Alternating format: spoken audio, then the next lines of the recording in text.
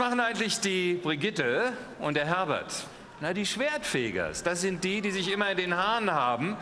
Oh, was sich liebt, das neckt sich. Also, wo sie jetzt gerade waren, was sie erlebt haben, das erzählen sie uns jetzt. Hier sind sie, die Schwertfegers.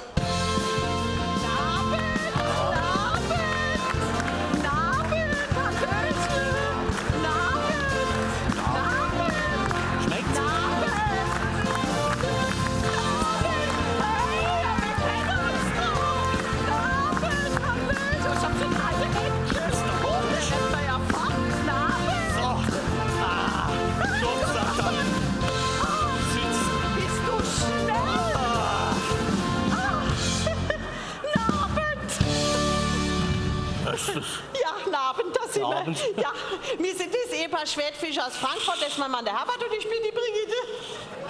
Ich bin der Herbert und das ist die Brigitte. Ich Hier. bin die Brigitte. Ja, ich weiß es. Also, wir waren ja gerade ganz groß im Urlaub. Ja, ach du von wegen Urlaub. Ich habe gerade heute Vormittag eine Bekannte getroffen und die hat mir erzählt, dass die vor zwei Jahren mal getrennt Urlaub gemacht ha- haben. Und sie sagt, es hat ihr sehr gut gefallen. Und Ihr Mann, wie hat's dem gefallen? Ja, das weiß ich nicht, der ist noch nicht zurück. Ne? Ja. Also, ich habe zum Herbert gesagt, ich will an drei Stellen geküsst werden. In Miami, auf Hawaii und in Rio. Und jetzt stelle sich vor, wir waren in Rio Janeiro. Ja, da war es am billigsten, weil wegen dem Zickenvirus will da keins mehr hin. Ne? Die sind ja froh, wenn überhaupt noch eins kommt. Ja, wir hatten ein super Hotel direkt an der Copacabana. Super laut war's, weil die die ganze Nacht Samba spielen. Da machen sie keine Acht zu. Ich mach's ihnen mal vor hier.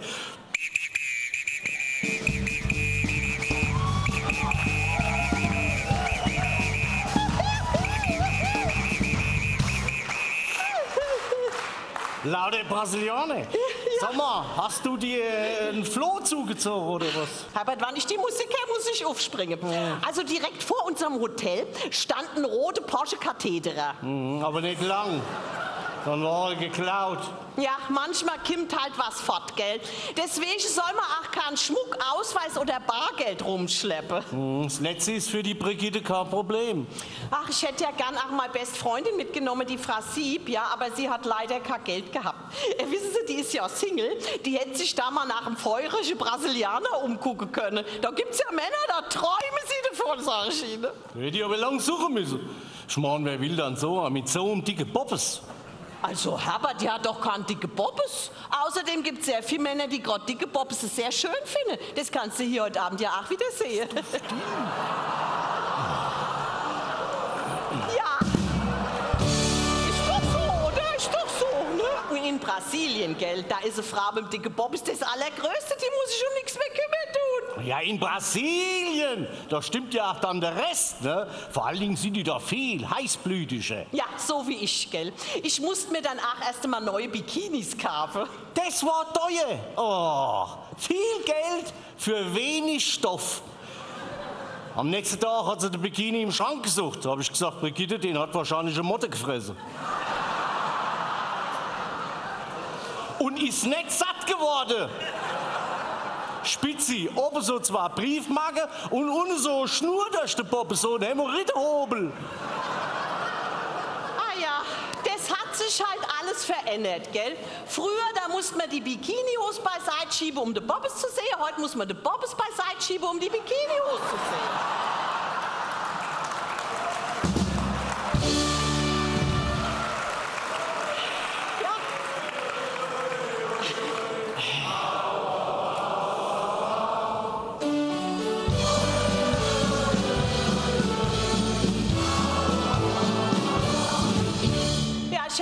Meiner Freundin gern auch so Bikini mitgebracht, gell, aber leider hatte ich kein Geld mehr. Hm, Es wäre dann wahrscheinlich ein katholischer Bikini.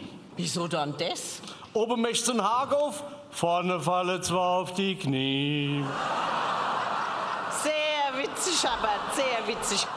Gleich am allerersten Urlaubstag war ich allein shoppen. hm? Aber dann habe ich mich doch tatsächlich verlaufen und bin in so arme Favela da geraten. Dann wollte die Geld von mir. Ne? Aber ich hatte ja alles ausgegeben. Da musste ich einen Herbert anrufen. Ich das ganze Geld zusammengekratzt und ab in die Favela. Schon unten am Eingang stand ein Pulk von Männern und hat mir Geld geboten, wenn ich sie wieder mitnehme. Ah, Dem Mann ist ja schon das Blut aus dem Ohr rausgelaufen, so hat die auf den eingeschwätzt. Na. Anna muss doch schwätzen mit den Brasilianern, da kommt man ins Gespräch, ne? Leider sprechen sie kein Hochdeutsch und nur ein bisschen Englisch. Hm, Beide Sprachen, die du nicht beherrschst. Also, Herbert, ah, ich habe einen Wochenend-Auffrischungskurs in Englisch gemacht, da kann ich doch nichts dafür, wenn die mich nicht verstehen. Hm, Gleich am ersten Morgen hat sie sich über das Frühstück beschwert. Auf Englisch. Ja, da habe ich zu dem Hoteldirektor gesagt, your breakfast is not the yellow of the egg. Naja.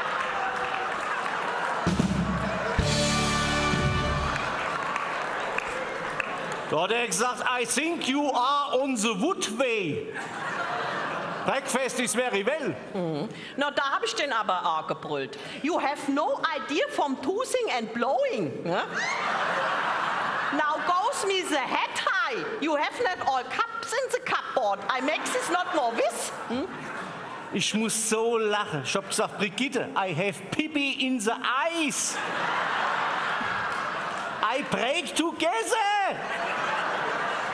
Your English is under all pick.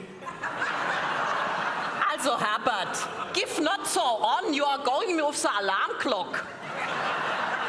Wissen Sie, gerade gestern waren wir beim Italiener und ausgerechnet am Nebentisch sitzt ein Mann einsam und allein vor seinem Essen. Und mit dem habe ich dann nämlich auch Englisch gesprochen. Ich habe sofort gesehen, dass das ein Englischer ist. Ne?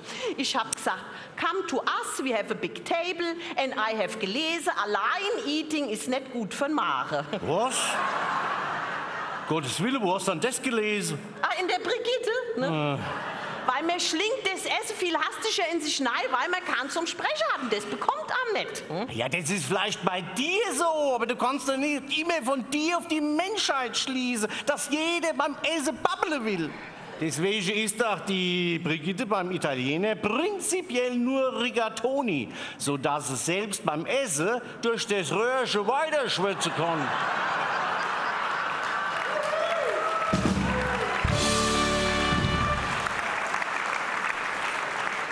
Und der Mann da, der war doch völlig geschockt von dem vielen Geschwätz von der Brigitte.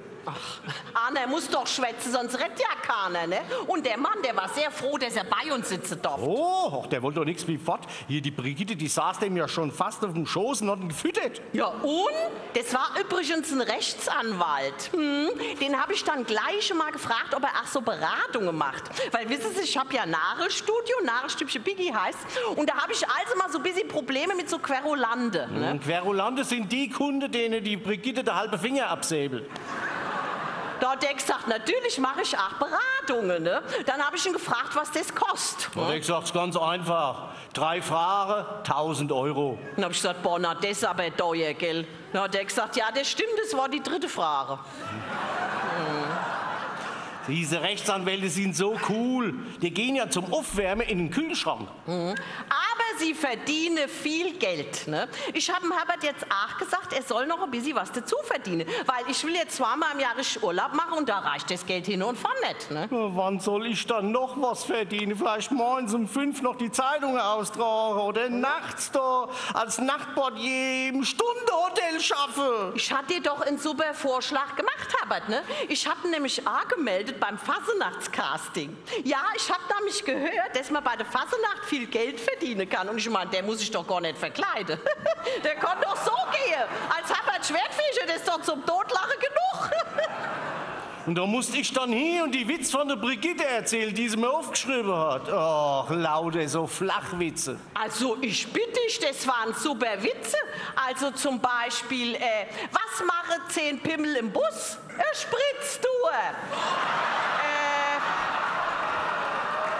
ah, ich hatte ja noch mehr.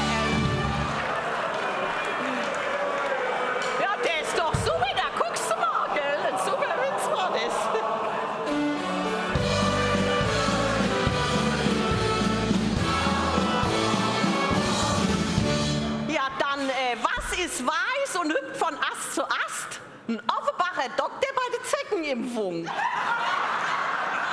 Oder, ähm, was finden Sie beim Kannibale in der Dusche? Head and Shoulders. Ah ja, das sind doch super Witze. Und die Witz, die musste ich dann da erzählen. Na, hat der Mann vom Casting gesagt, ach, Herr Schwertfeger, die sind ja uralt. Die hatte ich ja schon vor 50 Jahren in der Bütte. Das ist nichts. Sind Sie musikalisch? Hab ich gesagt, wieso? Ah ja, da singen Sie Liedchen, das kommt immer gut an Fastnacht. Dann habe ich gesagt, und Sie, sind Sie gelenkig? Hat er gesagt, ja, wieso? Habe ich gesagt, wissen Sie was, da können Sie mir mal den Buckel runterrutschen. Genau so ist der Herbert. Wo der hinkommt, macht er sich unbeliebt. Die haben den natürlich nicht genommen, gell? Aber wissen Sie was? Jetzt mach ich das, ne? Ich zieh mir kurz Röckchen an, ne? Da gehe ich von einer Fasnachtssitzung zur anderen, erzähl mal Witzchen, ne? Am Ende singe ich noch so Liedchen von der Helene Angler da, ne? So, Herbert los durch die Nacht, la la la la la la la. Ich sage dir, das kommt super an. Ne? Meine Freundin, die Frau Sieb, die schminkt mich und die fährt mich. Ich verdiene inzwischen mehr als in meinem Nagelstübchen. Ja, was aber auch keine Kunst ist, ne? Und die Frau Sieb hier, neulich habe ich sie getroffen bei uns im Treppenhaus, wollte sie gerade die Brigitte abholen, ne? Ich kam gerade vom Einkaufen, ne? Und die Frau Sieb gleich wieder ihr Nase in meine Dutte gesteckt, ne? Hat sie gesagt, ach, Herr Schwertfinger, gell? Sie haben Klopapier gekauft. Habe ich gesagt, nein, Frau Sieb, ich bin umweltbewusst. Ich hab's gerade aus der Reinigung geholt. Du Herbert, die Frau Sieb, die hat mir gerade WhatsApp geschickt. Ich muss fort. Die warten nämlich von bei der Garderobe-Mädchen. Ich habe noch eine andere Veranstaltung. gut. Ja, ich muss noch auf die nächste Sitzung. Ja, also, mach es ist gut. Mach der es Herbert gut. mischt sich noch ein bisschen unter Ja, ja. Volk, gell? Mach es gut. Tschüss. Ja, ja, ich komm ja. Schwertfeger, bitte noch nicht gehen. Bitte noch mal zu uns kommen. Noch Tschüss sagen? Noch Tschüss sagen, genau. Meine Damen und Herren, die Brigitte ist Gabriele Meyer. Und der Herbert ist Jörg Zick. Und zusammen sind sie die Schwertfegers. Ein dreifach donnerndes Brigitte. Hello. Herbert. Hello. Die Schwertfegers. Hello. Bleibt wie ihr seid, kommt gerne wieder. Euer Ausmal. Danke.